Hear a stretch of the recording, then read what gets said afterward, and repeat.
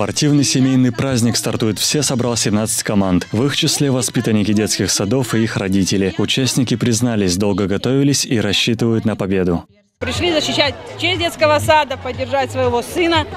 Мы любим заниматься спортом и, конечно, надеемся на успех, на победу. Пожелаю всем, конечно, успехов, победы всем. Победит, наверное, дружба, как всегда. Ну, мы, наверное, будем первые. Пользу несут, конечно, спорт, чтобы семья скреплялась. Ну, все в этом духе. Эстафеты будут с мячом, обручем, бег, как обычно, змейкой, конусом, с мячами.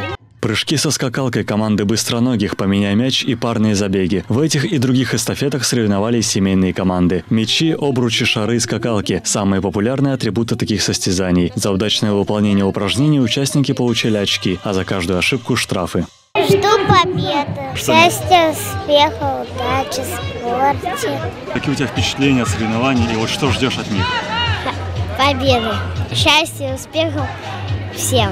И дети, и взрослые получили удовольствие от участия в спортивном состязании. Организаторы отмечают, такие мероприятия скрепляют семью, прививают любовь к спорту и пропагандируют здоровый образ жизни. По итогам все участники получили в награду почетные грамоты и сладкие призы.